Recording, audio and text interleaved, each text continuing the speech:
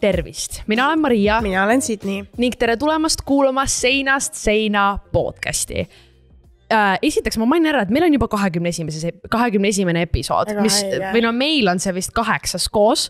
Ikkagi haige, aga see, et sa ka nagu juba nii.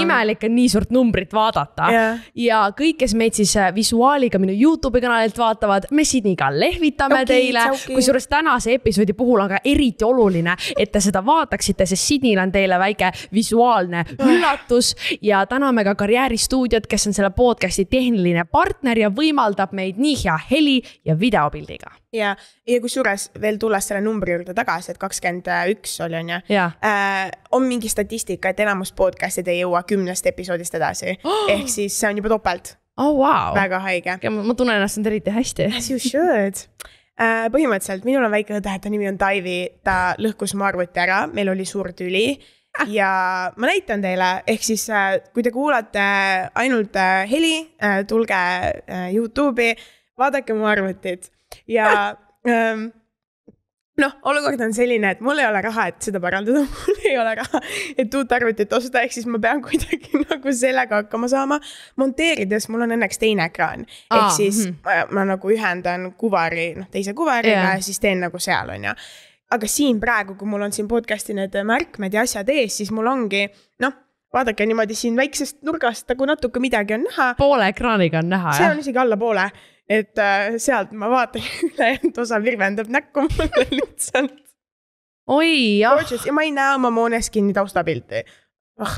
wow.. mul on nii kahju, ma nägin seda snappi ja ma alguses isegi ei saanud aru, mis toimub ja kui see jõudis mulle kohale, et nagu see ei ole nagu mingi pilt, mida sa näitad, vaid see, vaid see ongi see ekraan, siis ja. nagu veidikene ouch hetk oli ja, küll, ma pean nagu tunnistama see. space button on siit ka lennu, Jaa. tegi ka Taivi, et äh, ärge hankige endale väikseid edasirast, mul on nii kopp ees, Taivi, kui sa kuulad seda, sa oled, sa oled mu lemmik, ma armastan sind, aga no mul on nii kopp ees, sest et see, kui palju see väike tüdruk minu kodus käkki keerab selle paari nädalaga, mis õudne, õudne, ma ei taha enam lapsi, mu baby fever on möödas oh, sul oli baby fever või mul üldsegi kogu aeg käib see, enam ei ole. okei, vau, õpin iga päev midagi uut sinu kohta. absoluutselt. No minu äh,, ma isegi ei tea nagu vaata, probleem on selles, ma filmin oma videoid ette, me filmime neid podcast'e ette ja üks asi, millest ma kogu aeg äh, rääkinud olen, on minu ülikooli teekond, millest me ka siin rääkisime.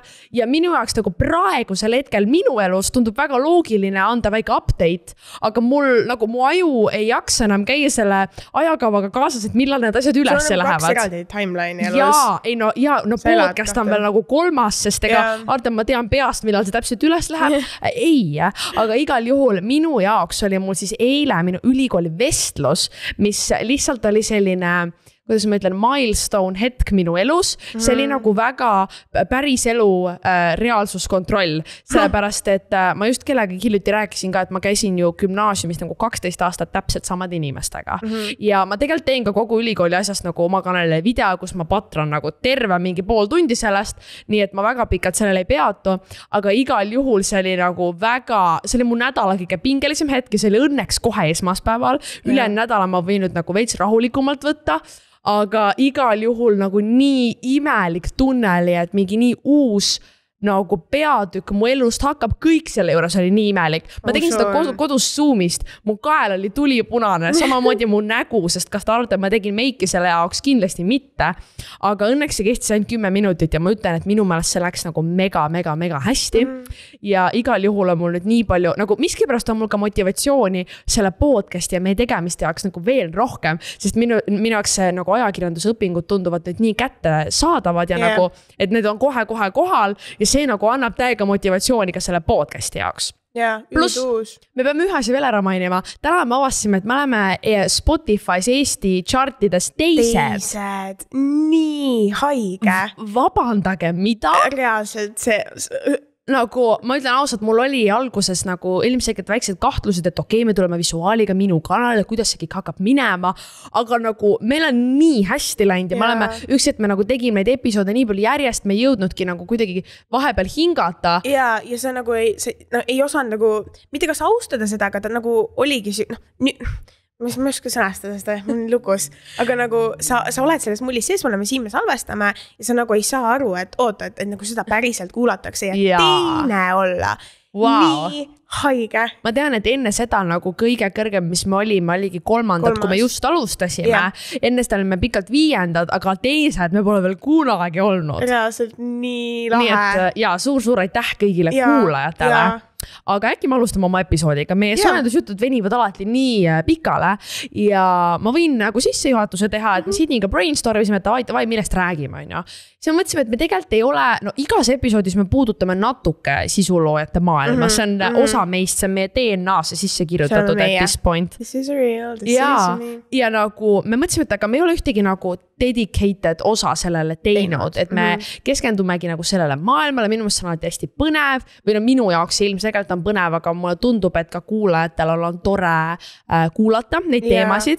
ja tänane episood, no me ei ole veel otsustanud, kuidas me nagu täpselt, mis pealkirja me täpselt paneme, aga ühesõnaga teema on, et äh, nagu sisuloome maailma telgitagused mm, Mhm. -hmm. mida sisuloojad sulle ei räägi ja miks arvatavasti ei taha olla sisulooja yeah. praegusel, praeguses maailmas, praegusel yeah. ajal.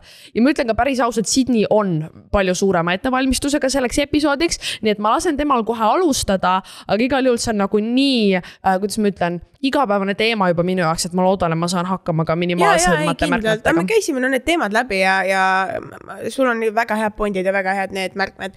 ja ma mainin ka selle ära, et ta igal juhul ei ole mõeldud see episood kuidagi nagu vingumiseks või noh, seda lihtsalt tuleb ära mainida. pigem on see, et nagu sisulooja elu võetakse järjest rohkem nagu tõsiseltvõetav ametina. ehk nagu in, palju, palju rohkemad inimesed kaaluvad seda päriselt nagu mm -hmm. teha, katsetada ja ma arvan, et see on selline väike reaalsuskontroll, et nagu mis need pärised telgitagused on. no põhimõtteliselt jah, mida sisuloojad sulle ei räägi ja, ja, ja appi, mul oli mingi hea point ja ma ütlesin jaa sõna ja see reaalselt lihtsalt kadus mu peast ära. see juhtub mul alati mõne episoodiga Appi, vähemalt õudne. korra. Mart, sa võid lihtsalt esimese punktiga alustada. ja, esimene asi, mille peale me tulime siis. ja no meil on esimese äh, märkmena siin äh, punktina on äh, tööelu ja eraelu balanss ja, ja minu jaoks see on nagu see, et äh, meie töö on meie elu ja meie elu on meie töö ja, ja., kuigi see on, see on tegelikult nagu see on väga suur blessing, mis asi juures olla mm. -hmm. sest et see, et sa elad lihtsalt oma elu ja see on su töö, on väga-väga lahe ja väga haige. aga see tihtipeale kammib nii ära, sest et, sest et kui sa mõtledki, et noh, mina isiklikult mingeid vlog'e asju ei tee, on ju, Mhm. aga, aga näiteks sina teed. Ja nagu noh, sa saad sellest nagu podist võib-olla sellest perspektiivist ise rääkida, aga minu jaoks ongi see, et, et noh, kuidagi, issand, kui halva sõnastusega ma olen, ma olen nii segaduses. Roostes oled. reaalselt roostes, on mingi hääl ka ära äh,. no igal juhul ma, ma võin üle võtta, äkki sul tuleb meelde see hea point, mis meelest läks. mina nagu minu formaadiks on ka minu enda elu jäädvustamine ja nagu mm -hmm. ma soojendusjutus seda puudutasin, siis äh, mu elus on kogu aeg kaks äh, timeline'i, ajajoont, ajajoont mm. -hmm. üks on see, mida ma päriselt, või tegelikult neid on palju rohkem. kujutage ette, et on üks päev, on ju, on mingi ülikeeruline või sihuke nagu päev, kus toimub hästi palju asju, eks mm. kõigepealt sa elad seda läbi nagu, kui sa selle läbi teed, on ju, see päev saab läbi, sa filmid seda kõike, on ju, nii. siis ma saadan oma materjalid monteerijale ja seal sa vaatad kõik klipid üle, kirjutad need välja, ehk sa elad teist korda selle päeva läbi mm. monteerija saadab sulle video tagasi, sa vaatad selle üle, sa elad kolmandat korda selle päeva yeah. läbi ja kui see lõpuks läheb ülesse, siis nagu inimesed kommenteerivad seda, mis siis toimus nagu selles videos, aga minu jaoks on siis sellest juba mingi kaks või kolm nädalat ja, ja möödas. seal on see ka, et täpselt samamoodi nagu mingi insta piltidega sa, sa teed omast pildist, endast pildi, saad mingi vau, see on nii ilus pilt. sa vaatad seda liiga kaua ja see ei ole enam ilus Jah. pilt ja kui sa teedki, ma monteerin, ma teen kõik oma videotes ise, ma näen seda materjali, ma näen seda nii palju ja, Jaa. algselt ma olengi, see idee on ülihea, ma mingi oo, davai, ma teen siukse video ja siis ma filmin ta ja siis ma monteerin ta ja siis ma vaatan ta üle ja siis ma vaatan ta oma sõpradega üle ja siis ma panen ta ülesse ja siis ma vaatan ta seal üle, kui ta on üleval, vaatan üle, et nagu, et mida inimesed mingi kommenteerivad. Jaa. ja selleks hetkeks, kui see lõpuks üles läheb, on see minu jaoks juba nii igav, enam, no mitte alati, aga, aga tihtipeale on, sest et ma, ma olengi mingi, et mina olen seda nüüd nii palju näinud. miks peaks inimesel seda huvitav vaadata olema? See on hea point, sest äh, ma teen nagu iga esmaspäev või noh, nüüdsest iga esmaspäev teen oma Instagramis äh, nagu küsimuste-vastuste ringe mm. -hmm. siis keegi kirjutas sinna, et äh, ähm, võib-olla olen seda juba küsinud, aga kas sa vaatad oma videot läbi, enne kui need üles lähevad? ma mingi nalja teed või? mul on lõpuks sellest videost nii kõrini, ma mäletan nagu sekundi pealt, kus seal, mis toimus. no podcast idega vähem, need me kuulamegi ühe korra läbi ja nagu need on nii pikad, et kõik meelde ei jää. aga ma arvan, et lihtsalt see nagu aspekt, mis on just nagu vlogimise juures, see, et sa elad omaenda elu mitu korda läbi. see on lihtsalt nagu, see ei ole isegi nii mingi oo negatiivne asi, see on lihtsalt imelik. ja nagu eriti nüüd, kui ma olen viimasel ajal palju ette filminud, siis ma ikka vahepeal mõtlen ja mõtlen, et nagu see ongi see, mida ma oma tööna teen ja see on nagu väga huvitav mõelda. on kas sul tuli oma mõte seoses selle äh, balansiga meelde või kuidas sul üldse selle töö ja elu ja kõige selle nagu tasakaaluga on või kas see on su jaoks üldse probleem olnud kunagi? no see on alati probleem ja see on selle nagu poolest probleem, et ma olen laisk. ehk siis ma nagu mingi hetk ma ei oska väärtustada seda, kui tegelikult heas positsioonis ma olen ja kui, kui vedanud mul on selle kõigega, et kus ma olen ja et, et mu elu ongi mu töö, on ju. aga täiesti haige, ma ma jälle kaotasin oma pointi ära, ma ei saa aru, mis toimub. palun lähme edasi lihtsalt, ma vabalt, no mina, ma mainin selle tasakaalu juures ära selle, et no muidugi see on see asi, mida me hästi palju puudutasime ka episoodis, mis me tegime Martiga mm. -hmm. ehk ma soovitan kõigil selle läbi kuulata, kui see teema nagu tundub põnev, aga ma arvangi, et just neile, kelle jaoks see tundub või noh, sellest on nii palju räägitud, et uu, sisuloome tundub nii glamuurne, meil on tegelikult nii raske bla, bla, blablabla on ju, mhm. aga pigem ta nõuab nagu hästi palju enesedistsipliini äh,. Yeah. mitte nagu ainult sisuloome, vaid kõik sellised äh, äh, ametid, kus sa nii-öelda oled iseenda boss ja iseenda tööandja mm. -hmm. ja ma arvan, et just nagu noorena sellepärast ongi seda keeruline ka oma päris tööks teha, sest noh, see võtab nii palju distsipliini, sa pead reede õhtul ka nagu maha istuma laua taha ja ma ei tea, selle video ära monteerima, on ju. et igal juhul see enesedistsipliini osa on seal sees, aga mul ongi tunne, et see, see tasakaal, seda on, sellest on nii palju räägitud, aga nagu sa pead selle ära mainima. aga samal ajal ma nagu pikemalt ei oska selle juures peatuda ka, sest, sest nagu ma ka mainisin Marti episoodis, me palju sellest ja, rääkisime. ja seda küll, jah et äh, tegelikult siin mul on ülihea sild äh, järgmisesse punkti, mis on meil natukene kaugemale planeeritud, aga võtame ta praegu äh,. sellel samal Q and A-l, millest ma just rääkisin, kus äh, üks tüdruk küsis, et kas sa oma videoid äh, vaatad äh, läbi. seal üks teine inimene küsis, et Äh, kas sa plaanid äh, või et kas sa plaanid nüüd suvel päriselt tööle ka minna? ja siis ma olen nagu, ma, ma nagu täiesti mõistan, mida sa mõtled, aga nagu isegi kui ma väga tahaksin, ma ei jõuaks. ja ma arvan, et see nüüd kõlab nagu ma tean, ma saan täiesti aru, kuidas see võib halvasti kõlada. ma saan aru, et mingi issand jumal, et meid, et ei arvata, et see on mingi päris töö bla, bla, blablabla. aga nagu, kas sa tead, kui raske on ära öelda mingitest nagu asjadest, mida kõik teised mu sõbrannad, ma ei tea, praegu suvel teevad. Nad käivadki lihtsalt, ma ei tea, pidutsevad, elavad elu ja nagu ma vahel pean selle ohverduse tegema, mul ei ole midagi selle vastu, ma olen ise selle tee valinud mm. -hmm. aga nagu sa pead selle ohverduse tegema, et sa jääd koju, sa töötad oma asjade kallal ja tead, kui nagu vastik see on, kui see ei ole teistele inimestele tõsiseltvõetav. see, see on ja ma olen nagu mingil määral midagi teles teinud ja in, nagu teleinimestele enesetõestamine on täiesti teine teema wow.. nagu see, kuidas äh, mitte nüüd need inimesed, kellega mina otseselt koostööd teinud olen, aga see, kuidas teleinimesed nagu võtavad seda sotsiaalmeediat ja nagu Youtube'i maastikku ja kõike seda nagu sellise, noh, ongi, see on hobi nende jaoks. et teletöö on ikkagi päris töö, tele on see, kus on raha sees, tele on, tele on see, kus, kui sa ikka käid, siis see on ikka nagu töö on ju, tele on see, kus sa saad reklaami, tele on see, kus sa saad tuntust ja siis, kui mina, kes, nagu mul on inimene,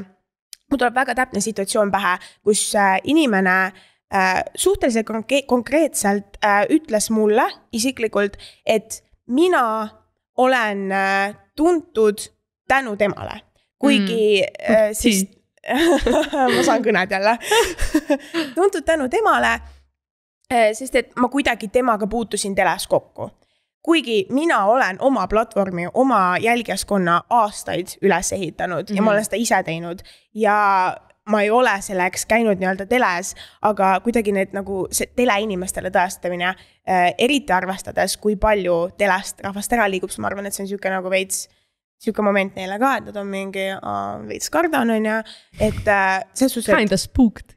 Spooked jah, väga hea sõna, et äh, armastan telet, täiega tahan telet teha, aga see, kuidas nagu seal peab ennast tõestama, on üld täiesti teine teema reaalselt ma ei hakka laskuma sellesse, et mis seal, mis seal teles sulle nii väga meeldib, aga ma küsin sult seda hiljem mm. -hmm. Aga ma arvan, et äh, nagu kui, kui me korraks seal tele juures peatume, siis seal ongi nagu kahte tüüpi inimesi. on need, kes selles valdkonnas töötavad, saavad aru selle tulevikust ja just mm. pigem väärtustavad neid inimesi, kes uutel platvormidel liiguvad ja, ja on valmis seda maailma edasi viima. Need on ka nagu need inimesed, kellega näiteks mina kokku puutunud olen, kes võib-olla ei tööta otseselt teles, aga nagu on selle maastikuga seotud.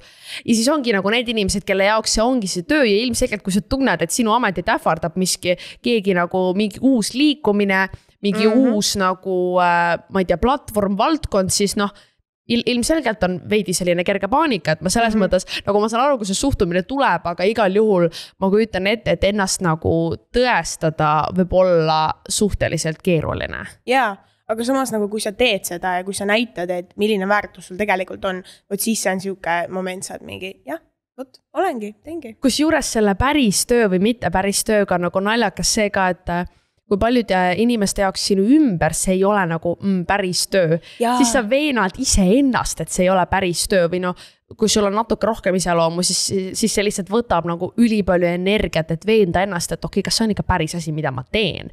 sest tihtipeale see ei ole selline asi, et sa teed ühe video ära, sa saad selle eest kohe selle tasu, mida see väärib mm, -hmm. vaid seal on hästi palju nagu ähm, issand, mingi sõna on selle jaoks, aga mul nagu ei tule meelde või mingi väljend. aga hästi palju on seda tööd, mida sa teed ja sa näed seda tulemust alles hiljem, hästi palju on kommuuni ülesehitamist, mis yeah. ei maksa sulle kohe mingit raha kätte. Yeah.. aga, ja siis ongi vahel sa pead iseennast veenma, et see on päris asi, mida sa teed. Ja mul tuleb nagu nii konkreetne mõte pähe, kus ongi või nagu olukord, kus, kus oledki nagu mingis seltskonnas ja siis küsitakse umbes, et aa, et mida sa õppima lähed, vaata, ja siis ma olengi mingi, aa, et ma plaanin minna ajakirjandust ja siis on mingi, et okei okay,, et kas sa siis lähedki mingi A-telesse või nii, siis ma ütlesin, et ei, et nagu ma, ma seal, seal, kus ma praegu olen, et see valdkond mulle väga sobib, siis nad on mingi, aga mis valdkond see on mm. -hmm. või et nagu, et okei okay,, aga kuhu sa siis tööle lähed ja siis ma yeah. olen nagu, see on disrespectful. see on ja seal on see, kui sa võtad kasvõi mingi ettevõtte ülesehitamine äh,. Soomes mainitakse seda hästi palju, kuidas äh, nagu kõik on ettevõtmine, koolis räägitakse, et hakata, hakake ettevõtjateks, kuidas see mingi Soome riiki edendab oh.. kõik äh,, kõik sisuloojad räägivad endast kui ettevõttest. Ja mm, kui me võtamegi sotsiaalmeedia isiku või inimese, kellel on jälgijast, jälgijaskond, kes teeb, ma ei tea, videoid, mida iganes, sa ehitad seda see, meie see ülesehitus on see, et me ehitame endale jälgijaid nii-öelda, et meie äh, ehitame üles oma kommuuni. platvormi ja kommuuni kui sa võtad ettevõtte, sa ehitad täpselt samamoodi seda asja ülesse. Mm.. sa täpselt samamoodi alguses, sa ei saa seda tulu kohe. mitte sa kasvad seal edasi, see, see tulu kasvab ka ja alguses see ei ole ka, aga seda, et, et kui sul on mingi konkreetne ettevõte, et aa, et vot minu firma teeb vot täpselt sellist asja, mis on nii-öelda tuttavam, siis see on nagu kõigi jaoks päris töö, aa, ta on ettevõtja, aga kui, kui on sisulooja, kes ehitab üles oma kommuuni, kes ehitab endale sotsiaalmeedia jälgijaskonda, teeb äh, pidevalt, näeb vaeva sisu täpselt samamoodi, et seda ehitada, siis see järsku ei ole päris töö. jaa, väga hea point ja see on nii huvitav, et Soomes nagu selline suhtumine on või niimoodi nagu sisuloojad ka endast räägivad mm, -hmm. sest mul ongi tunne, et see nagu selles positsioonis sul ongi hästi palju nagu eneseusku vaja yeah.. sest nagu mul, ma mäletangi olukordi, kus ma nagu pidin tegema selle lükke, et ma jään koju, mul on vaja täna mingeid asju teha. ma ei saa nagu päris iga päev nagu kontrollimatult kogu aeg aega vabaks võtta ja see võttis nagu aastaid, enne kui mina ise olin selles kindel, noh, ilmselgelt see nagu ajaga läks suurema, nagu maht kasvas ja see muutuski rohkem päris tööks. aga nagu see võttis aega ka enne, kui mu lähedased inimesed seda aktsepteerisid ja mul yeah. on nii hea meel, et mul on lõpuks nagu inimesed mu ümber, kes päriselt nagu jagavad seda seisukohta, nad ongi mingi aa jaa, ma nagu, mul ei ole vaja öelda, et keegi oleks mingi jaa, ma saan aru, sa oled tööl. vaid nagu, et nad saavad aru, et see on minu jaoks tähtis, sama tähtis, kui mõnele teisele oleks nende nagu mingi töökoht yeah,. Yeah. ja, ja kui ma ei tule kuskile välja nädala sees, siis see ei ole sellepärast, et ma ei viitsi, vaid sellepärast, et ma tõesti nagu ei saa. ja ma arvangi, et nagu eriti, kui sa oled äh, selline, kes alustab või selline, kes võib-olla tunneb, et aa, et minu jaoks see maht ei ole veel nii suur. ja veel sul on sõbrad su ümber, kes on mingi, et okei okay,, aga mis sa ei või seda hiljem seda videot monteerida, pane ta mm -hmm. hiljem ülesse mm. -hmm. et ilmselgelt nagu need nüansid on seal olemas ja see ei ole nagu, selle koha pealt ma ei ole nii palju isegi kuulnud äh, sellist nagu isiklikku perspektiivi, et pigem on lihtsalt öeldud, et jaa, et sotsiaalmeedia kasvab ikkagi valdkonnana, seal tõesti on nagu ametivõimalust mm., aga keegi ei ole seda nagu ähm, emotsionaalsemat köögi yeah, puudutanud võib-olla. täpselt jah ähm, kas liigume edasi sinna nagu äh, noh, kui räägime tööst, siis tuleb ka tavaliselt võib-olla raha. Yeah et räägime äkki sellest poolest natukene, mis selles mõttes ma arvan, et äh, olukorra, vaat sa võrdlesid ettevõtetega nii-öelda mm -hmm. sisuloojaid ja ma arvan, et äh, selle koha pealt on äh, nagu natuke huvitav asjaolu, et ettevõtted ikkagi on eelkõige kasumile orienteeritud mm. -hmm. ma eeldan või no loodan, et ma olen asjast õigesti aru saanud, on ju. Mhm, et nende eesmärk ikkagi, no ilmselgelt ongi ettevõtteid, kellel on väga tugev missioon mm. -hmm. Neil on äh, või no ideaalis peakski see missioon olema esimene see, miks nad oma toodet või teenust või mis iganes asja müüvad, aga tihtipeale nagu nende lõpp-produkt on see, et nad saaks selle rahaks teha. ja nagu sisuloojatel, okei okay,, jah, kui sa sellest tahad ära elada, sul käib ka see mõte, mõte nagu ähm, nii-öelda ring või mõttemuster peas, aga eelkõige see sisu on sul see nagu peamine ja vahel mulle jääb mulje, kui sa loedki nagu meediast, mis uudiseid meist tehakse või noh, meist nagu sisuloojatest sellest mm -hmm. maailmast siis tundubki, et kõik ongi nagu üks reklaam, reklaam, reklaam ja ainult raha, raha, raha, aga, aga tegelikult ma ise tunnen, et see on nagu ikkagi suurel määral sisule orienteeritud aga see rahaline pool on ikkagi ka seal olemas. ei äh,, absoluutselt, sest et äh, nagu ongi see ülesehitamine, sa ei saa seda ehitada ju mingi raha peale üles selles suhtes, et, et äh, mitte no kas just mitte ükski, aga, aga enamus inimesed ei jõua kaugele, kui nad lähevadki võtavadki selle no kasvõi Youtube'i maastiku, et ma teen nüüd videot selleks, et raha teenida. et sa, sa ei jõua, sest et sul kaob see huvi ära, kui sinu see põhimotiiv on see, et, et raha saada, et vau wow,, nemad, ma ei tea, Kylie Jenner saab ühe insta postituse pealt miljon äh, kordades rohkem nüüdseks juba on ju. et ma tahan ka, et aa, et ma hakkan ka, ma ei tea, influencer'iks, siis sul see põhimotiiv on nii kauge, et sa, sa ei jõua läbi selle. aga ilmselgelt, kui sa mingisse punkti jõuad hästi paljudel, ka Eestis, on sotsiaalmeedia sisuloome nende põhitöö.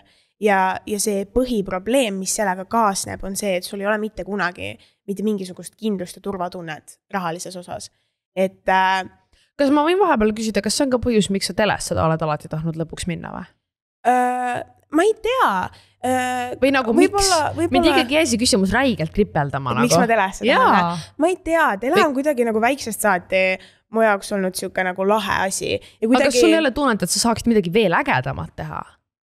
ma ei tea, ma võib-olla, võib-olla mul ei ole lihtsalt piisavalt enesekindlust ja sihukest nagu, et äh, jaa, ma kindlasti saaksin, aga, aga minu jaoks kõik see produktsioon ja kõik need telgitagused ma saaksin seda ise teha, kui ma viitsiksin seda vaeva näha ja kui ma usuksin piisavalt endasse ja enda ideedesse, aga ma ei, ma ei usu, ma arvan. ma just tahtsin öelda, et minu meelest meil siin podcast'iga on ka suht äge produktsioon. on väga äge ja, ja see on ka nagu üks asi, mis on nagu minu jaoks ongi need telgitagused. ja, ja, ja see üli-üli cool, aga võib-olla ongi just see, et ma, ma lihtsalt ei usu endasse piisavalt, et enda nagu ideid teostada. ja siis see on lihtsam, kui sul on nagu tiim taga. peaksid uskuma, ära mine kergema vastupanu teed ei, aga väike... tele on lahe ikkagi. nagu yeah. see on tegelikult nii cool, kui sa näed ennast telekas ma tean, aga minu jaoks nagu see on kuidagi nii läbinähtav või, või nagu see on, see on põnev maailm, mida, mille kohta õppida mm.. aga nagu ma ei kujutaks kunagi ette, et nagu sellises positsioonis nagu meie mõlemad oleme, et sa siit nagu nagu tahaksid lõpp, nagu lõppdestination'ina telesse minna. kas just lõppdestination'iga, aga Aa. teate, et vahepunktid seal teles on ikka väga toredad, ma ütlen okay, sulle. okei, okei, no igal juhul see oli väikene kõrvalpõige, aga tuleme siis selle võib-olla finantsilise kindlustatuse juurde tagasi mm, -hmm. ehk et nagu sa ka mainisid, siis tegelikult sa kunagi ei tea, millal sa järgmise töötasu saad, millal sa, noh, mina olen hiljuti hakanud tegema sellist detailsemalt finantsplaneerimist, eks wow, ole. Wow.. ma vaatan, kuhu kurat mu raha kaob, sest seda lihtsalt läheb ja läheb. Ja nagu mul on tunne, et kuna ma ei ole kunagi traditsioonilisel moel palka saanud mm, -hmm. ma hakkasin tegema sisuloomet nii vara, et ma isegi, ma hakkasin tegema, kui ma seda olin kaksteist ja pool ja keegi ja, ei ole nii noorelt veel läinud tööle. Ja no siis mul ei olnud nagu põhjust ka, et minna ja, ja see on alati olnud nagu selline, et sa teed neid koostööd, see raha on ühes suures hunnikus ja sealt sa jäämäe otsast nagu vaikselt kogu aeg võtad, aga tegelikult need väiksed ampsud, nad tekitavad lõpuks nagu suure augu, on ju. Mhm. ja, ja nüüd, kui ma olen nagu eriti nüüd sellel viimasel aastal, olen nüüd täisealine, mõtlen ka nagu veidi iseseisva elu kõige selle peale, siis kui sa üritad oma rahalist maailma planeerida, siis selle koha pealt on see nagu hullult keeruline yeah.. et sul ei ole garanteeritud mitte midagi, selle koha pealt need ampsud, võib-olla need nagu tööampsud, mis sa teed, nad on selle võrra rohkem tasustatud, et kui ma vaatangi näiteks mõne koostöö hinda ja võrdlen seda, palju sa peaksid näiteks teenindajana tööd tegema, et selle raha kokku saada, see ei ole isegi võrreldav. Ja sellepärast ma kunagi ei mõtleks ka sellest valdkonnast lahkumiseks, sest nagu jah, see on suure riskiga nagu high risk, high reward olukord. ja, aga sellega on see ka, et, et võib-olla nagu siia vastandiks veits tuua, on, on täpselt see, et, et ma ise ka panen seda tähele, kuidas no välismaal sisuloojad teenivad väga retsisid rahasid, on ju. Eestis mitte nii retsi, aga ka ikkagi, kui sa võrdled sellise äh, kõige tavalisema üheksast viieni tööna, tööga siis see, mida meie mingite reklaamide ja koostööde asjade peal teenime, on ikkagi nagu, nagu sa ütlesid ka, seda ei ole, seda ei anna võrrelda mm. -hmm. aga samas minu jaoks, noh, võib-olla ma lihtsalt olen vaene aga mina nagu vaatan seda ja mul ikkagi jääb mulje, nagu kõik oleks nii rikkad. et äh, kõik, ma näen, vaatan sisuloojad on mingi, vau, tal on nii palju raha ja siis ma vaatan ennast ja nagu ma kujutan ette, kuidas inimesed vaatavad minu nagu äh, mingeid postitusi ja videoid ja asju ka ja on mingi, et aa, et ta teenib hästi. ma reaalselt olen vaene ja see ei ole isegi nali, mul nagu struggle in rahaga ja see on väga haige ja see tulenebki sellest, et mul ei ole sellist nagu mingit kindlust. minu nagu põhisissetulek, kuna ma ei tee väga palju koostöid, on äh, minu Youtube'i reklaamirahad mm. -hmm. ja need kõiguvad väga, mingitel perioodidel need on kõrged, mingitel, mingitel perioodidel need on madalad ja tihtipeale see isegi ei olene sellest, kui palju ma videoid teen see oleneb lihtsalt sellest, et kui palju Youtube'i need reklaamiinimesed siis sinna sisse raha panevad. ja läbi selle ma olengi mingi, aa, okei okay,, see kuu ma teenisin korraliku summa, nüüd ma elan hästi ja järgmine kuu ma teenin vaevu, ma ei tea, pool miinimumpalgast kätte, kui sedagi, mis ma siis teen, et ta on hästi, hästi ebastabiilne ja kuna ma olen veel sihuke inimene, kes noh, ei planeeri oma rahasid, ma mul on mingid säästud, jumal tänatud, et need on, ma ei tea, kuidas nad sinna on jäänud, on ju, aga noh, neid ka palju ei ole, ma saan raha, ma kulutan ära selle ehk siis, kui sa isegi ei oska planeerida, sa oled sama loll nagu mina, siis oledki vaene lihtsalt ma arvan, et, ähm, et tasub välja tuua see võrdluse välismaaga, on ju. mul just eile oli pikk äh, arutelu sel teemal nagu kogu sellega, et äh, kui lihtne on Eestis sisuloojana ära elada, kui lihtne on välismaal. ilmselgelt seal on nagu turg on nii palju suurem, inimesi yeah., kes vaatavad sind, on nii palju rohkem, rohkem tänu sellele on seal palju rohkem nagu agentuure, inimesi, kes nagu spetsialiseeruvadki selles, et sina, Sydney, teeniksid raha. Nad push ivad sind koostöödele, nad vaatavad, et sa oleksid mingites artiklites kirjas, esilinastustel kohal, on ju. seal see süsteem lihtsalt ongi nii palju suurem, sest seal on rohkem inimesi. mis tähendab, et Eestis, kuna inimesi on nii palju vähem, siis äh, hetkel ei ole ka tegelikult mingit nagu agentuuri ega kedagi, kes nagu kollektiivselt majandaks kogu seda mm -hmm. nagu äh, rahalist poolt, no tegelikult ka sisulist poolt, eelkõige sisulist ja seeläbi ka rahalist poolt ja, ja selle võrra see on nii palju raskem, sa pead nii yeah. palju rohkem hustle ima, et see tooks sulle seda kasu mis.... ise otsima, ise nagu kuidagi. hästi palju ise pöörduma ja pluss nagu, no muidugi oleneb vanusest ka, et ongi mina, kes on kaheksateist, kellel ei ole, ma ei maksa oma elamise eest mm, -hmm. transpordi eest maksan ka nagu äärmiselt vähe. mul ei ole nagu selliseid kulusid ja, aga selle võrra mul ei ole ka aega, et väga palju pöörduda ja seda raha hullult ette teenida mm -hmm.. samamoodi inimesed, kes äh, võib-olla on koolist, noh, enam koolis ei käi, neil justkui see aeg oleks, aga sul on juba ka kulud nii suured yeah., et igal juhul ta ei ole nagu finants finantsiliselt selline lihtne. ta ei ole nii lust ja lillepidu, kui ta võib-olla tundub ja ma ise vaatan teisi sisuloojaid ja ma ise nagu Eestis ka, ma olen ise ka mingi, vau, neil on kõik nii hästi. ja siis ma olen mingi, et ei oota, reaalselt ei ole, sest et ma, ma nagu näen, milline mulje see jätab, aga ma tegelikult tean inimesi, ma tean ennast, ma tean inimesi, kes on selles maastikus ja ma tean, et nad tegelikult ei ole nii, nii ratsarikkad, nagu võib-olla tundub. et rahaliselt poolelt see on hästi ebastabiilne ja, ja teine asi, mis ma ka tooks välja siia no see võib veits controversial olla, kui sa nagu ei ole siin sees ja sa kuulad ja see võib-olla nagu kõlab hästi first world problem, aga on siuksed inimesed, inimesed nagu turusolkijad mu lemmiktermin lihtsalt, turusolkijad on reaalselt nii lahe sõna ja mina kuulsin seda terminit esimest korda tead vist isegi sinult hmm. paar aastat tagasi. ma ei imesta, kui ma selle asja lihtsalt ise välja mõtlesin, sest ma ei osanud paremini öelda. võimalik, aga see on nagu catch on, need inimesed päriselt kasutavad seda wow.. ja turusolkijad, no sa võid rääkida, ma võin, no, ma võin üritada seletada, mida mina selle all mõtlesin. Mm.. et äh, ma toon näite, võrd-, võrdleme meid, sisuloojaid näiteks näitlejatega. Mm.. mul on hea näide, sest ma just ühe oma tuttavaga sellest rääkisin. Äh,. ongi näitlejad, on ju, ja siis on äh, erinevad nagu, nagu, nagu erinevad tasud, mida sa erinevate asjade eest võid saada. Mm.. ja siis on selline asi nagu näitlejate liit kes äh, ongi nagu mõeldud näitlejate jaoks, kes reguleerib seda, et oleks mingi miinimumtasu. ehk sellest alla ei tohi maksta mingisuguse, ma ei tea, teatud äh, töömahu eest mm. -hmm. ehk nagu ühe mingi esinemise eest sa ei tohi maksta alla mingi summa sisuloojatel ei ole sellist asja ja brändid on väga kavalad ja saavad sellest aru, et vahel sa saad nagu mitte ainult ei ole meil miinimumpiiri, vaid meil on väga palju ka neid, kes teevad ilma üldse mi mitte mingi Mitte tasuta pluss nagu ja noh, ja see nagu tekitab olukorra, kus ongi mina näiteks või üldse võimatu on enda reklaamihinda paika panna, see on väga keeruline. ja ainus, mina olen nagu leidnud, et parim viis, kuidas seda teha, ongi võimalikult palju ka teistega avatult suheldes Jah. kuidas teised käituvad, sest see ongi nagu selline maailm, mis nagu, nagu natuke nagu re reguleerib ennast ise. aga mida rohkem on neid inimesi, kes teevad seda mitte oma täiskohaga tööna, vaid nagu niisama hobina, siis neil ei ole seda motivatsiooni, et täishinda küsida, nad ongi mingi.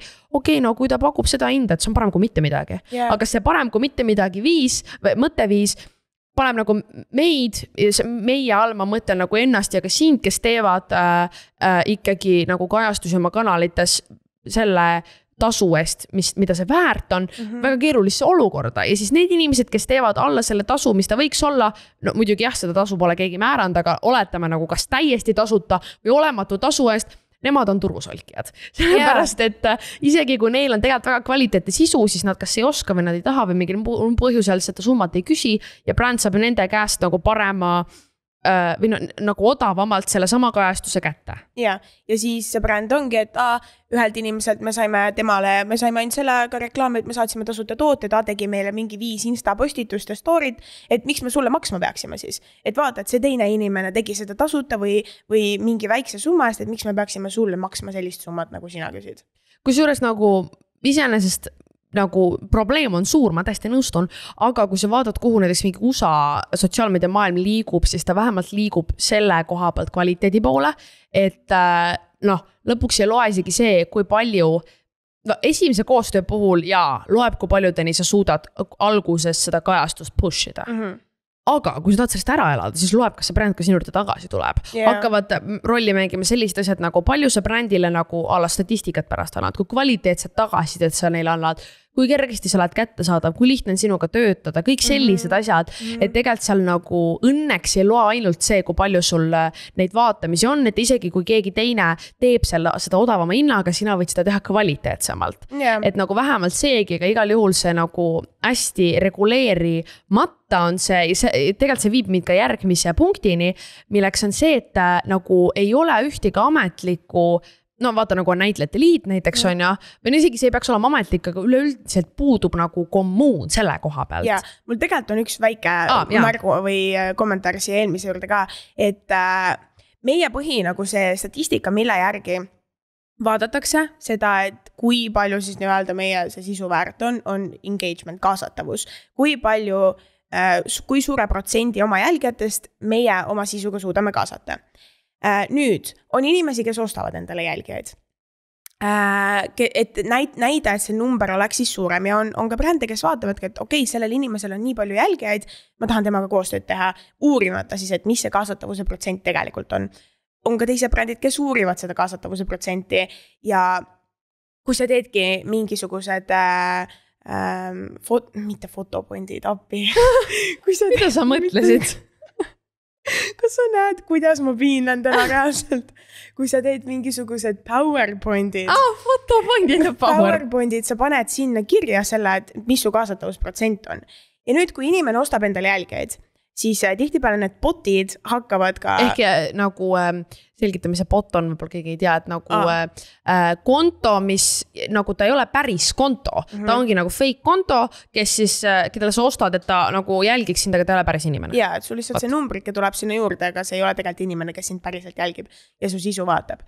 ja nüüd need nüüd, nüüd ma sain aru, kuhu sa liigud, see on väga hea point. ja bot'id hakkavad jälgima ka inimesi, kes seal nagu lähedal põhimõtteliselt on. selles Selle- valdkonnas populaarsed ja on. sellepärast, et muidu Instagram kustutab need bot'id ära, neist ei ole kasu äh,. inim-, miks inimesed ostavad neid bot'e, kui need mingi ära kustuvad, mõttetu. ja seetõttu need, kes neid bot'e teevad äh,, teavad, et, et nad peavad panema nad ka nagu teisi jälgima.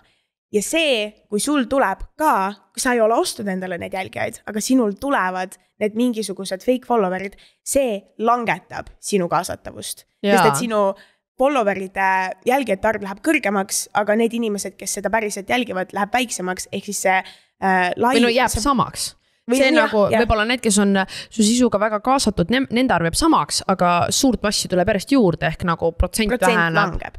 Ja ei, see on väga hea point, ma olen sellest, mul paar aastat tagasi see vist oli ülisuur asi millest palju räägiti ja Instagram ka siis palju kustutas tegelikult neid äh, bot'e ära, aga, aga jaa, ja, ja, ja, ja ma täiesti nõustun, seepärast on ka minu engagement väga madal, aga mul on hea meel, et saab tõestada näiteks Youtube'is watch time'iga yeah., Jaa. mis tähendab seda, et sa näitad, kui palju, kui pikalt su videot reaalselt vaadatakse ja Youtube läbi selle push ib su videoid, et nagu neid võimalusi tuleb järjest juurde ja ta vähemalt äh, välismaa näitel ta nagu liigub küll kvaliteedi poole jaa, seda küll, seda küll. Äh, aga tulles nüüd selle kommuuni juurde mm. -hmm. ja selle juurde, et mitte ainult ei ole mingit ametlikku nagu asja, kes seda reguleeriks või midagi, kuigi no jah, just eelmise episoodi äh, tegime, kus rääkisime ju, et aa, et tahetakse üle reguleerida meie maailma bla,, blablabla.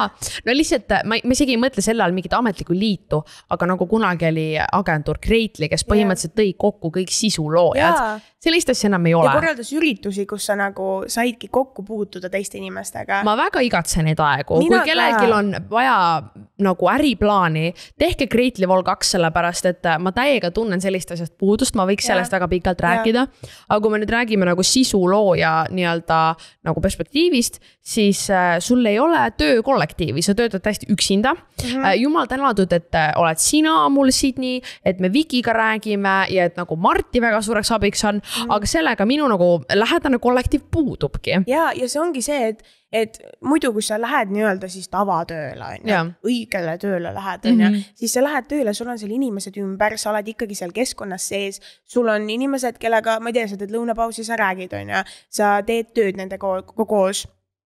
Töötad kasvõi teles, on monteerijad, sa monteerid teiste inimestega koos ja meie teeme seda kõike üksinda, absoluutselt kõike ja see ka kassib ära ja mm. eriti kuna hästi paljud meist on nagu üle Eesti laiali ja, ja, ja isegi kui ei ole lihtsalt üle Eesti laiali, siis juba Tallinn on väga suur, sa ei saa nagu pidevalt niimoodi kokku puutuda. ja kõigil on kiire ka jaa, nagu. reaalselt ja siis puudubki see, et, et, et sul oleks sihuke nagu päris, päris nagu keskkond, kommuun ja see, seda oleks nii tore, kui ma saaks kellegagi koos lihtsalt minna kuskile ja monteerida, ja monteerida. me Vikiga tegime siia... kunagi neid editing date'e. nii lahe, nagu see, et ma siia saan tulla ja et, et me siin juba nagu koos teeme asja, on see juba edendab seda minu enda jaoks nii palju, sest et muidu ma oleksingi üksinda kodus ja ma, ma reaalselt, ma, ma, ma, ei tea, mis ma teeks seal, oleks kogu aeg kodus, see on, see on väga haige okei, ja siis nagu teine point ka, mis siia juurde on, et, et ma tean, et näiteks muusikutel on läbi äh, plaadifirmade on mingisugused istumised, mingisugused koosolemised, kõik sihuke. meil ei ole plaadifirmat, meil ei ole siis sisulooja firmat, on ju. ja ma nii tahaks, et oleks mingid lihtsalt siuksed nagu kokkutulemised kasvõi mingi, ma ei tea, tehakse content'i, võib-olla ei tehta. sihuke, et sa Jaa. lihtsalt oledki koos, sa saad rääkida, arutada asju. Et olekski, ma ei tea, see oleks nii tore ja et pluss ta oleks nagu vajalik ka, sest ma ütlen ausalt nagu see nii-öelda sisuloojate kommuun võib tunduda väga suur, on ju. aga kui me võtamegi mingid väga nagu või noh, kuidas ma ütlen, sisuloojate all ma ei mõtle näiteks BSH-d ehk Brigitte mm -hmm. Sõnu-Unti. kasvõi nagu Andrei Sevakin, nagu jah, ta teeb Youtube'i, jah, ta on sisulooja, aga ta oli enne seda muusik või Ja- nagu ta tegeleb on muusikaga muusik, ja jah. Brigitte, ta on teles, ta on nagu traditsiooniline teleinimene, ta ei ole nagu selle koha pealt ainult eh, sisulooja Jah. ja nagu mina selle, selle kommuuni all, mis puudu on, pean silmas just neid inimesi, kes tahavad seda sotsiaalmeedia valdkonda nagu Jaa. edasi viia. sest nagu ma ütlengi ausalt, teleinimestel on oma kommuun, sealt nagu, kes ongi mingi ajakirjanduspersoonid ja kõik sellised avaliku elu tegelased, nad mingi saavadki kokku mingi kroonika meelelahutusauhindadele, Jaa. kuhu meid ei kutsuta Reaalselt. ja, ja ongi, sinna jääb nagu see äh, auk, et ei ole mingit nagu meievahelist sellist kommuuni või saad aru, mida ma ja, mõtlen? ja see on nii kurb, sest et sa Jaa. vaatad, vaatadki seda kõike teisi, kuidas kõigil teistel ongi, ongi inimesed, kellega rääkida täpselt nendel teemadel, kellega arutada, suhelda, isegi kui nad ei ole mingid kõige paremad sõbrad, siis nad saavad nendel teemadel rääkida, aga meil on see, et sa pead seda inimest päriselt tundma, et temaga rääkida, sest et sa ei lähe lihtsalt mingi nagu inimese, kellega sa ei suhtle, mingi Youtuber, ma ei tea, mida iganes, on ju slaidi talle DM-i, oo kuule, ma ei tea, kuidas sul sellega on ja, ja kuidas sul on, kuigi võiks, on ju, aga see oleks ikkagi nii nagu no ta on keerulisem kui see yeah., et sul on nagu võimalus selleks antud, aga ma pean ütlema, et äh, nagu ka selliste inimestega, kes võib-olla teevadki seda hobina, aga kes näevad selles potentsiaali, olen mina nagu Instagramis täiega rääkinud ja täiega üritan olla selle koha pealt avatud, et äh, kui ongi keegi, kas, kes kas alustab või keegi, kes teebki seda poole kohaga, siis nagu alati, kui keegi kirjutab hästi avatult rääkida, sest see on ainus viis, kuidas me saame üldsegi infot jagada, kuna jaa. ei ole mingeid nagu kokkusaamisi või mingit liitu, kes siin asju nagu organiseeriks jah, aga igal juhul ja see töökollektiivi asi on väga-väga aktuaalne. nüüd ma isegi ei tea, mul, mul silda järgmise punktini ei ole, aga äkki võtame selle vastutuse teema ette, mis mm -hmm. sa Mhm. arvad, tahad sa sellest rääkida ehk? no ma isegi ei tea, mida ma otseselt sellest, nagu mul on üks, üks point, me oleme sellest rääkinud, vaata siis, kui me Vikiga käisime sul esimesel hooajal külas Uh, oli see vastutuse teema äh, hästi kuidagi Ah, päris jaa. pikalt rääkisime sellest, minge kindlasti kuulake, jaa, aga võib-olla üks äh, perspektiiv, mille mina nüüd nagu juurde tooksin, noh, see jutt, mis ma seal rääkisin, oli see, et kõigil on vastutus. Mhm. ja, ja no ma ei hakka ennast kordama, minge kuulake seda episoodi, on ju, aga äh, ma teen siukseid videoid nagu vastavõju, on ju, jaa, kahjuks liiga palju. Ja veits läheb juba liiale, ma saan sellest nüüd aru, on ju, aga see on okei okay,, sest et see on content, see on naljakas, mulle meeldib, mida iganes. minu ema räägib mulle, kuidas mina läbi nende propageerin alkoholi, propageerin alkoholismi, kuidas ma ei äh, mõista, milline mõju on sellel, et mina teen vastavõju videoid äh,. ma, ta ei ole neid videoid vaadanud, sest ma ei luba tal neid vaadata oh.. äh, arvad, et ta sala pole vaadanud või? ei, ta ei ole, ma okay. tean, et ta ei ole, mu õed on, mu väiksed õed aga mu ema ei ole, sest ma ei ole lubanud. ehk siis ta tegelikult täpselt ei saa rääkida, aga ma ei, ma nendes videotes kunagi ei, ei reklaami, mul on video alguses, ma alati räägin, et me oleme täisealised, me, see on vastutus, me nagu vastutustundlikult on ju. see, see ei ole propageerimine ja yeah. siis mu ema on kogu aeg mingi, jälle sa tegid selle vastavõju video, jälle sa reklaamid lastele alkoholi. mis, mis minu jaoks ongi noh, ma ei tea, mina, ma ei näe seda sellise asjana, et viimasel ajal on ülipalju liikunud sihuke video ka, kus Nicki Minaj oli Elleni saates ja siis Ellen küsib ta käest, et kuidas sa nagu äh, tegeled sellega, et äh, sul on nii noored jälgijad ja sinu sõnad lauludes on nii vulgaarsed. ja siis Nicki Minaj ütleb, et noh, et ma olen õppinud ja aru saanud, et ma ei peagi sellega tegelema, sest ma ei ole nende vanemad. ma olen Jaa. mingi reaalselt. no jaa, ma nõustun, et see vastutuse teema on nii palju läbi käinud ja ma isegi andsin ühe nagu intervjuu, mis oli spetsiifiliselt mõjuisikute vastutusest ja kui ma selle üles leian, see oli nagu vist oli raadiosaates, kui ma ei eksi, või nagu podcast'i nagu klipikese kujul äh,. kui ma selle leian, ma ka selle lingin, aga ma arvan, et lihtsalt võib-olla selle sisulooja kui nagu ameti koha pealt äh, teda tuleks lihtsalt mainida, et noh, tavatöös sa ei pea mõt-, no ikka pead, aga, aga nagu sa ei pea nii palju mõtlema selle peale, et nii paljud inimesed näevad või kuulevad seda mm. -hmm. näiteks kasvõi selle podcast'iga ma olen nagu palju isiklikumaid teemasid avanud ja sa isegi ei tule selle peale, et see tuleb ringiga sulle päriselus yeah, tagasi yeah.. ja nagu see ongi see, et meil on siin mingi tund aega, on ju. okei okay,, see on, see on isegi väga palju, videotes veel vähem. ja nagu tihtipeale ma mingeid, ma ei tea, asju sa tood välja, ilmselgelt sinu peas on tervikpilt mm, -hmm. aga kuulajatele või vaatajatele alati ei teki seda tervikpilti, ehk sa pead kogu aeg alatadlikult mõtlema et nagu kuidas minu need tegemised teistele tunduvad yeah.. samal ajal sa ei saa liiga palju selle peale mõelda, sest siis sa ei ole autentne siis sa ikka mõtled liiga palju ja blablabla bla,. Bla, bla. et igal juhul see nagu, ta, ta lihtsalt, ma arvan, on väärt mainimist, aga me isegi ei pea talt tema juures pikemalt peatuma mm. -hmm. aga jah, see podcast'i asi nagu just podcast'iga on seda tulnud, et me nagu laskume siin sügavuti teemadesse ja siis ongi, et ma nagu toongi mingeid ala isiklikke näiteid ja need päriselus ma nagu pean pärast diilima sellega, mida Jah. ma ütlesin, isegi kui ma seda nagu otseselt nii ei mõelnud või see võetakse kontekstist välja. Et kindlasti neid nagu olukordi on, aga samas noh, mis sa siis ikka teed, et nagu elu läheb edasi selle koha pealt ja mis jah. öeldud ja üleval, see öeldud ja üleval, ega seda enam maha ei võta ja sa ei saagi aega tagasi keerata ega midagi, nii et jaa, see no vastutus vastutuseks, meil on siin veel nagu mõned punktid, mis on tegelikult palju äh, põnevamad ja millest me nii palju rääkinud ei ole mm. -hmm. ja võtaks järgmisena selle sotsiaalse ärevuse, uute inimestega suhtlemise asi, millest mina olen rohkem, ma arvan, rääkinud, sest see on videotes mul nagu teemaks tulnud mm. -hmm. sind ma ei ole nii palju sellest nagu oma sisus rääkimas kuulnud, pigem oleme ise rääkinud. ja kuna hiljuti toimus, või no meie jaoks hiljuti toimus ka üks esimene festival üle pika aja, siis ma arvan, et see on nagu hea teema, millest nüüd kohe värskelt rääkida. ja no sotsiaalse ärevusega on üldse see, et kuna me töötamegi nii üksinda, nagu me siin selle kommuuni osas juba rääkisime, sa oled harjunud kõike seda põhimõtteliselt üksinda tegema ja siis järsku sa lähed välja ja on inimesed, juba see on nagu, et okei okay,, inimesed on. ja siis, kui su sisu jälgitakse, inimesed tunnevad sind ära ja ma olen isiklikult veel hästi, no enam mitte nii väga, aga introvertne ka, ehk siis see on juba nagu väga-väga hull ja minu nagu põhi, ma arvan, et see tegelikult on kõigil, aga mina kardan nagu südamest kardan teismeliste punte. ja enda vanuseid lihtsalt. ja see, see, see on hirmus, ma, ma kõnnin tänava peal ja ma näen punti ja ma kõnnin, ma reaalselt võin väga suure ringiga mööda ja minna, sest et see, millist ärevust see must tekitab, see on õudne.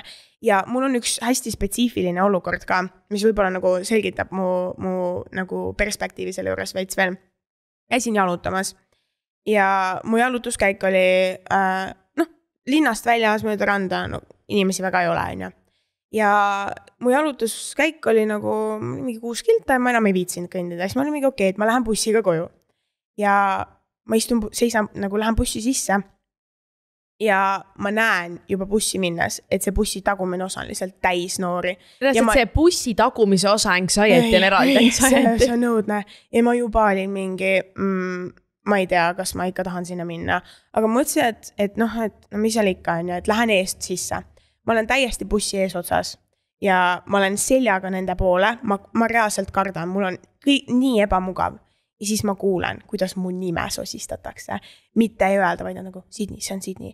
see moment, kõige õudsem üldse, kõige õudsem, see, kui inimesed mu juurde tulevad, ma olen väga okei okay sellega. aga kui, kui keegi sosistab mu nime või ma nagu saan aru, et keegi tundis mind ära ja pani mind tähele, tekitab nii suurt hirmu, et ma reaalselt olin seal bussis ja ma kuulsin, kuidas nad tagaotsas sosistasid ja ma läksin ära sealt bussist ja ma läksin jala koju. sest et ma ei suutnud seal bussis olla. Te, tead, mis mul tuli meelde, ma olen küll sellest rääkinud ja tead, mis selle tulemus oli, kui ma rääkisin sellest, et mind tuntakse ära täpselt samast olukorrast mm tehti mingisugune nagu fake uudis selle kohta, kuidas ma olin öelnud, et mul on vaja mingi tunnel ehitada. kas oh. sa ah. mäletad seda või? et oo, et Maria Ranaveli jaoks on vaja ehitada mingi tunnel, sest ta ei saa mingi kesklinnas liikumisega hakkama. ja nagu see oli esimene kord, kui ma sellest rääkisin ja ma mõtlesin, ma ei räägi sellest enam kunagi. ja kas saad aru, et mul nagu, mu sõbrad, no ma ei tea, kas saab nimetada sõpradeks inimesi, aga nagu, kes nagu sihukest nalja teevad, aga nagu isegi nagu inimesed minu enda ringkonnast mm. on selle üle nalja teinud ja nad arvavad, et see oli päris uudis.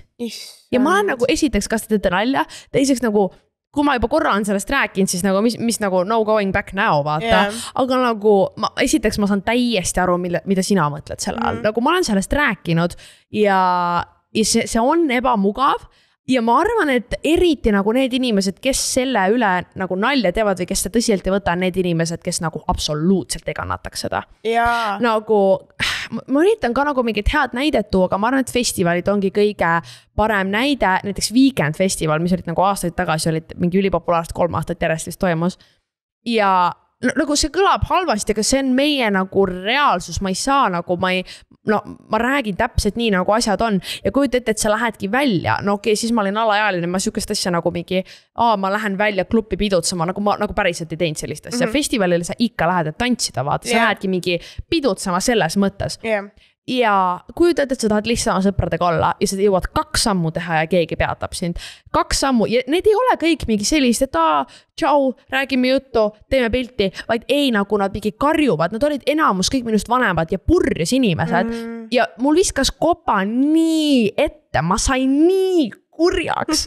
Nagu näiteks äh,, või no nüüd ma saan teise näite tuua, nüüd kui on nagu aastad mööda läinud ja tegelikult mu ka älgkeskkond on muutunud, just hiljuti või no eelmine nädalavahetus me käisime sinuga mõlemad Pärnus beach grind'il. Yeah ja reaalselt nagu ma olen nii harjunud sellega, et ongi, kui ma maksan nelikümmend kaheksa eurot, et kuulata Nublu setti, siis ma ei tee Nublu seti ajal pilte. nagu ma maksan liiga palju, et siin terve see aeg ja nagu ma, ma tõesti ei räägi nendest, kes genuinely tulevad, et rääkida ja on päriselt yeah. hea, nagu ka mõndadele väga sõbralikele ma ütlesin üliviisakalt, et nagu teeme peale seda, kui sa peale seda siin oled, vabalt teeme. Yeah.. Aga nagu kõikidele nendele ebaviisakatele ma olingi mingi ei, nagu reaalselt ei. ja seda nagu inimesed ei saa aru ka nagu ma olen, ma olen harjutanud nagu endasse täiesti sellise nagu tuima, aga üliviisaka, aga siiski täiesti tuima ja nagu kurja nagu attitude'i, ma olengi mingi, et äh, ei, et ma, ma, ma ei soovi praegu teha, et nagu päriselt ka ei. ja ma pean vahel inimestele seda mingi viis korda ütlema. nagu sel nädalavahetusel, ma olen öösel õues, ma olen oma pundiga, kõik on väga chill ja siis tulebki keegi ütlema mingi Maria,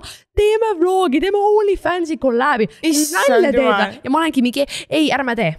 ja siis nad on mingi, teeme ikka, ma mingi, ärme tee.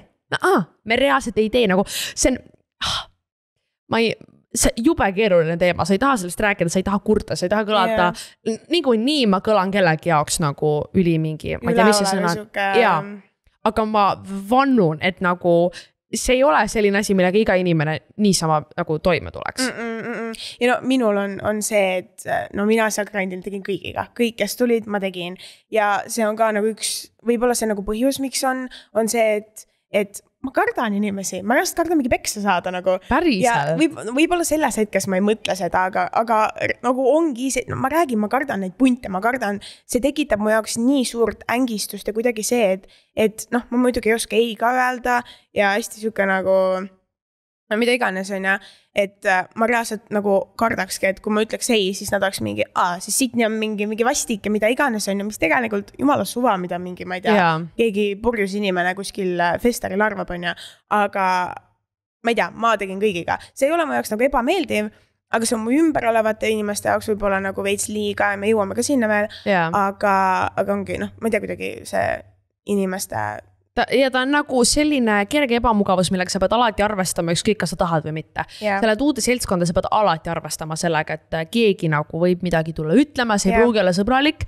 ma olen olnud nagu nii, nii, nii õnnistatud nagu paari lähedase väga hea sõbraga, kes nagu ongi sellises olukorras, kus inimene ei võta ei-d vastusena.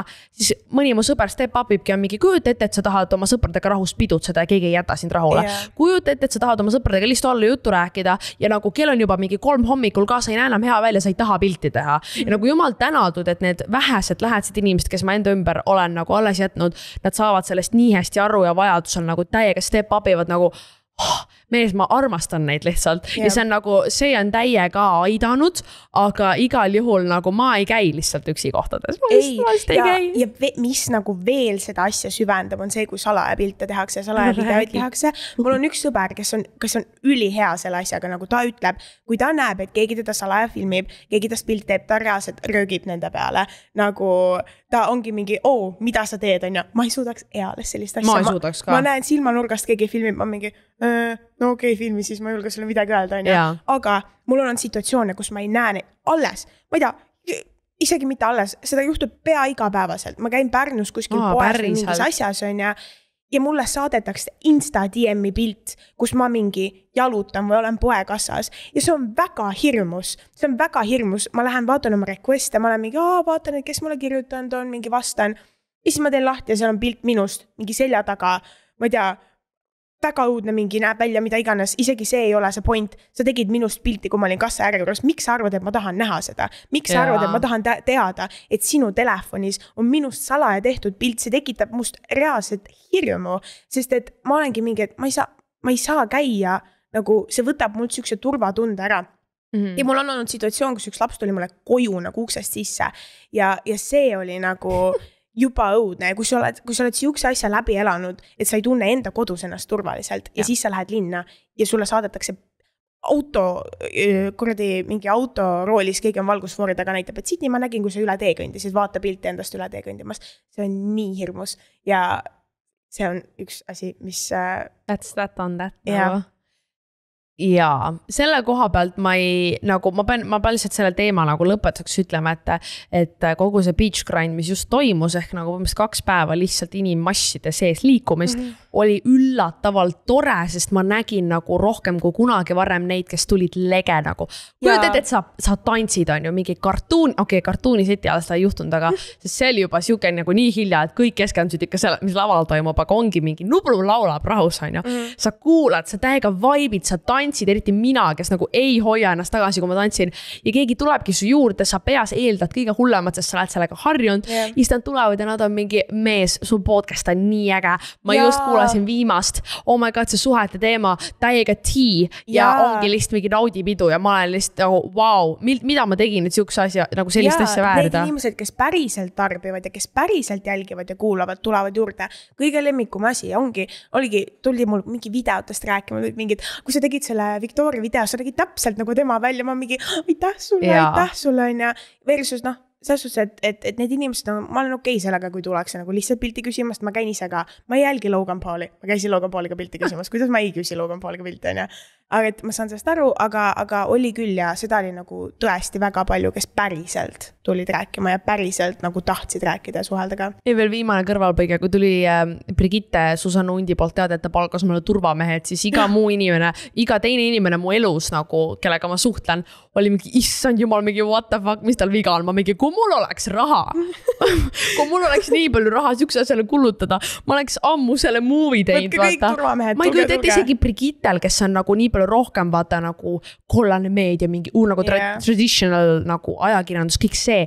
seal nagu on eriti rohkem sellist äh, nii-öelda nagu kõmu või seda, et nagu Mhm. uu, mis sa seal tegid, mis sa seal tegid, ta on hästi sihuke nagu ähm, äh, isegi ei tea, mis see sõna on, mida ma otsin, saate aru, mida ma mõtlen. ma ei kujuta ette, palju temal selliseid tuleb, keda ta nagu ei soovi, nii et äh, jaa, see oli lihtsalt sihuke väike kõrvalpõige. Jaa. aga Mart, me jõuame nii sujuvalt ka meie eelviimasesse punkti, milleks ongi, et äh, kõik asjad, mis sinuga juhtuvad, mida sa koged. no oletame näiteks, et sa töötad äh, niisama kuskil mingi, ma ei tea, no ütle üks amet. töötad äh, poemüüja. no poemüüja, ma mõtlesin samad asja, kusjuures kassapidaja on ju. no muidugi nüüd ma ei oska mitte mingit näidet tuua, mu point on see, et sinu töö ja eluga on kaasatud nagu kõik su inimesed, see on nii isiklikuks aetud, ehk isegi kui nagu äh, no oletamegi, ongi mingi negatiivne kogemus, sa oled äh, kassapidaja, sul on mingi ülihalb klient on ju, mis iganes, siis see mõjutab nagu ainult sind. aga nagu, kui ma olengi oma sõpradega, lähedaste inimestega väljas ja mingi kamp nagu no ühesõnaga mingi kamp, ma ei hakka täpsustama äh,, peatab meid ja nagu me seisame selle pärast ja nagu ma ei räägi nüüd jällegi nendest sõbralikest, nendest mingi oh my god jaa, mingi purjus inimesed, mingi, kes ei oska käituda, peatavad ja siis sellepärast peab nagu kogu see suur seltskond seisma jääma, kellega sa umbes liikusid et siis nagu vahel on need hetked, kus ma just mõtlengi, et nagu need inimesed, kes mu ümber on, ei valinud seda, mina valisin seda ja nemad on nagu mõjutatud. ja, ja mina isegi tooksin siia need inimesed ka juurde, kes, kes nagu päriselt räägivad. minu jaoks on see väga-väga tore ja mulle väga meeldib nagu suhelda inimestega äh,. kes nagu tulevad minuga suhtlema, siis ma julgen rääkida, muidu ma ei julge rääkida, onju. Just introvert things, aga see on nagu tore.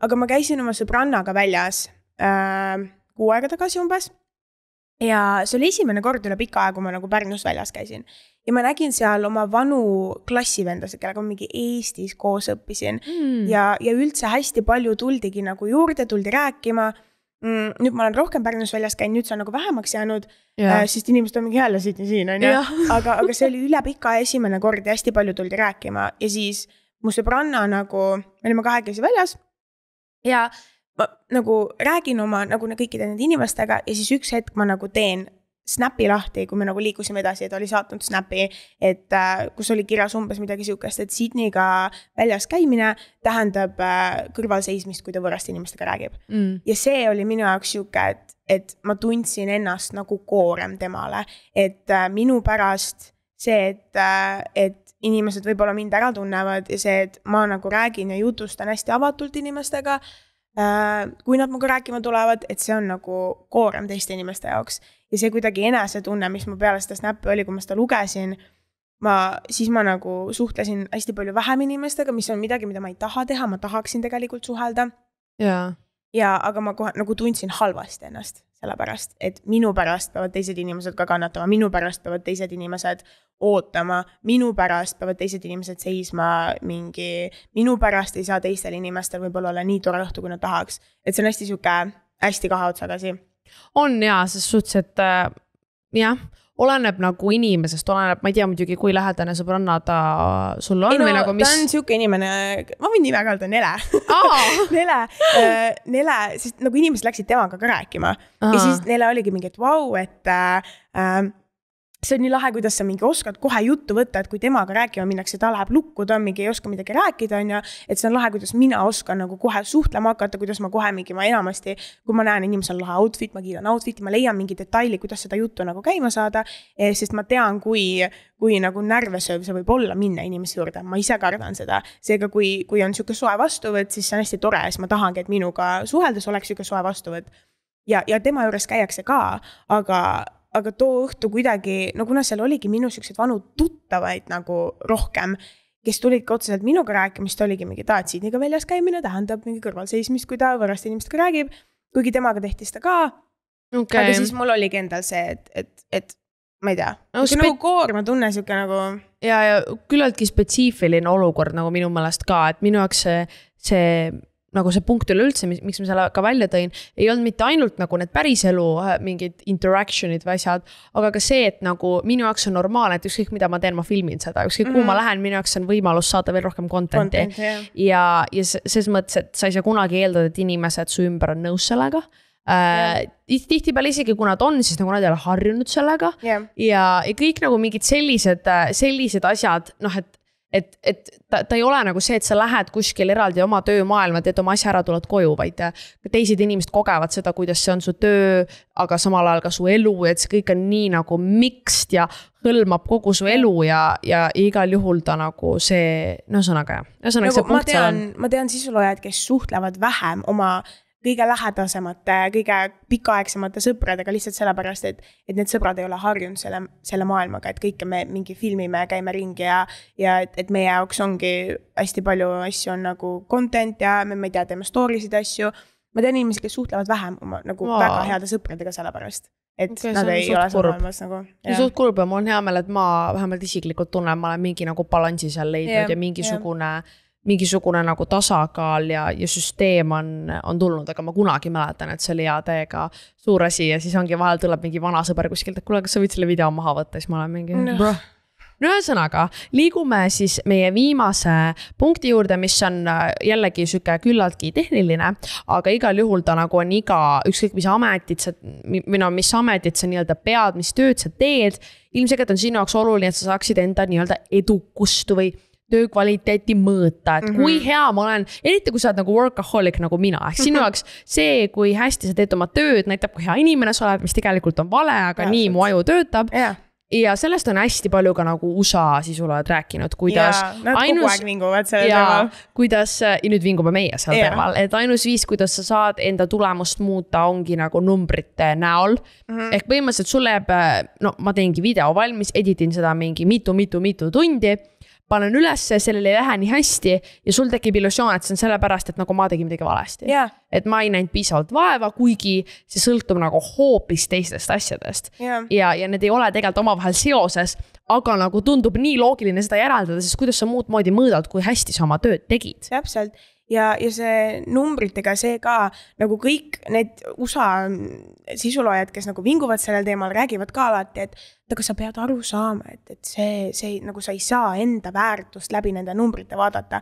aga seda on nii raske mitte teha, sellepärast et, et sinu enda väärtus, sa paned nii palju sisse sellesse ja see, kui sa saad väiksemat numbrit kui tavaliselt, mõjutab su enda enesehinnangut, enesekindlust, sa oled mingi, mis minul viga on, pluss tihtipeale need numbrid määravad, kas ja kui palju sa raha saad. ja siit me tuleme jälle selle punkti juurde tagasi, et see on nii ebastabiilne, ehk siis kui sa järsku saadki vähem vaatamisi ja sa elatud sellest siis see mõjutab juba nii palju teisi aspekte su elus ka. ei no mina, kui ma tulin podcast'iga välja, see oli nii suur formaadi muutus, et mu nagu vaatajad hakkasid räigelt vahetuma, ehk mul läks nagu palju halvemini kui kunagi varem, mitte halvemini, aga mu videod jõudsid vähema seltskonnani mm ja ma reaalselt mõtlesin, et ma lähen mingi õpin arstiks või kuradi juristiks, sest ma mõtlesin, et see töö ei toida mind ära ja mul tekkis reaalne paanika.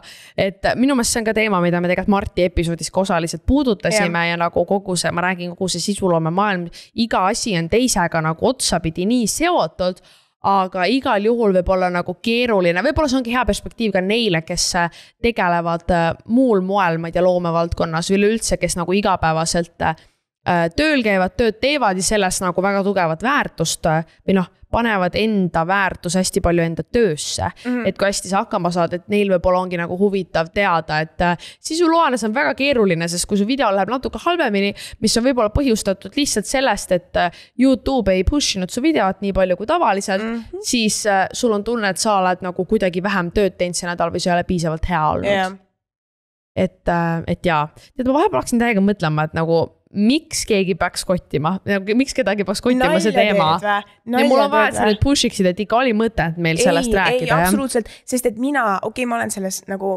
valdkonnas ja ma olen selles asjas sees, aga ma vaatan USA nagu, kui USA inimesed räägivad sellest. ja mina vaatan, ma ei vaata selle nagu selle punktiga, et mina teen sama asja. mina vaatan neid kui fänni, mina vaatan neid kui jälgijaid. ei, sina vaatad neid jälgijana ja fännina. jah, jah, jah, täpselt, vabandust ma räägin, ma ei oska täna aga, aga ma vaatan alati sellest perspektiivist ja mul on nii lahe kuulda ja nii tore kuulda. ja üldse nagu igas ametis ma tahaks täiega teada, mis on need mingid telgitagused ja mingid asjad, millest ei räägita väga. ja nagu see ongi see, ma hakkan sellest rääkima, siis ma olen mingi, mida ma üldse räägin, et nagu. kes tahab sisulooja, nagu ma juba ise olen seal vales mõtteviisis nii sees mm., ma olen mingi, kes tahab sisulooma ameti kohta midagi teada, mis amet see üldse on. kuigi tegelikult ma ise räägin täpselt vastupidist, et minu meelest kogu see nagu, nagu lõppkokkuvõte sellel ongi see, et hästi palju on ka nagu eneseveenmist kuna yeah. see on uus valdkond, see ei ole nagu mingi asi, kus sul, no ei, no eeskujusid on, aga sul ei ole nagu mingit väga kindlat teed ette kaevatud nii-öelda. ja tihtipeale kogu see mäng käib, käibki selle ümber, et kas sa suudad ennast veenda see nädal, et see video ära teha ja et see sulle pikas jooksus toob ikkagi mingit mm -hmm. kasu mm. -hmm. jube imelik. kui ma vahel mõtlen, mida ma teen igapäevaselt, siis see tundub nii imelik reaalselt. reaalselt on. mu lemmik on ka see, kui sa nagu läbi mingite tuttavate või no mitte tuttavate, aga lähedaste inimeste kohtudki nagu teiste vanemate või vanavanematega või nagu nii-öelda läbi oma lähedaste inimeste, mingite lähedaste sõprade, äh, kelle iganes, äh, puutud kogu nagu täiskasvanud inimestega ja sa pead selgitama, mida sa teed. Ja siis sa oled täiega mingi no, vähemalt no. nüüd ma saan öelda, et ma õpin ajakirjandust, rohkem ma ei kavatse mainida. aga nagu varasemalt ma olin ka mingi, et no ma käin koolis ja siis on mingi, aga miks sul kogu aeg nii kiire on, ma mingi no, kuidas nüüd seda öelda? teate, ma olen väikest siin mingi näitleja, et äh, tead, poes et igal juhul ta on, ta on hästi huvitav ja ma olen täpselt see inimene, kes nagu obsessib oma töö üle ja võiks sellest kogu aeg rääkida mm. -hmm. ja nüüd mõneks ajaks ma olen ennast jälle selle teema koha pealt tühjaks rääkinud.